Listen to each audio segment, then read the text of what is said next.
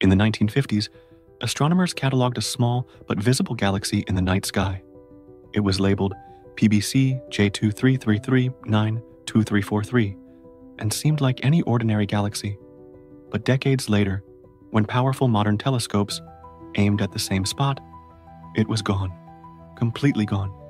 No faint light. No collapsed structure. Nothing. It didn't move behind dust. It didn't fade gently. It vanished.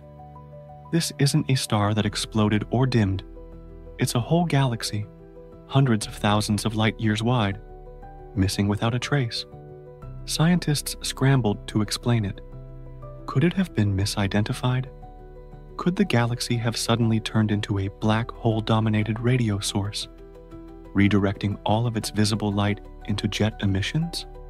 One theory suggests that it transformed into a blazar, a galaxy with a supermassive black hole shooting energy straight at us, blinding us from its original glow.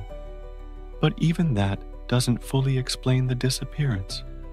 Galaxies don't just blink out of existence, or do they? Could we be witnessing a rare, rapid evolutionary shift in a galaxy's entire structure and output?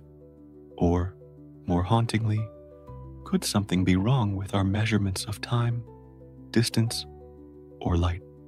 It's not just about one galaxy. It raises questions about what we truly understand, about visibility, mass, and the fabric of the universe.